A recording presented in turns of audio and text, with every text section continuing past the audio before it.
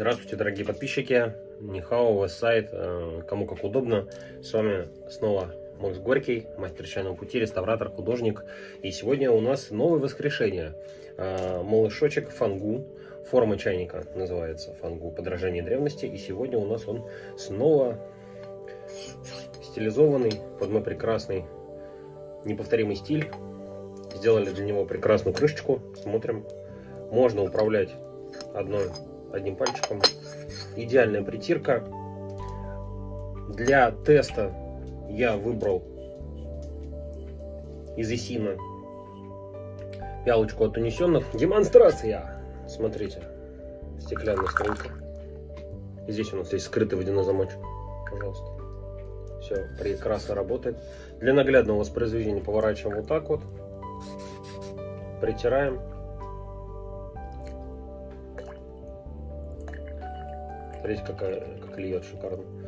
Ну, собственно, вот смотрите, чистый объем равнехонько. Видите, колышется. С чаем это будет меньше, соответственно, очень удобная посуда. Заваривание в одного идеал вообще. Также я доработал термос свой еще. Еще лучше стало. Красотка у нас. Это у нас специальный крючок для подвешивания, ну, для носки с собой. Из паракорда на дофамине я сделал себе ручку. Вот такая красота. Но символично, раз у нас здесь масонская пиала, значит бесконечный путь не, дает, не даст нам сегодня заснуть. Маленькая крышечка. Сюда заливаем. О, первая нулевая, э, нулевая проливочка пошла. Со временем, опять же, будет нарабатываться и притираться. Шикарно. Мне очень нравится.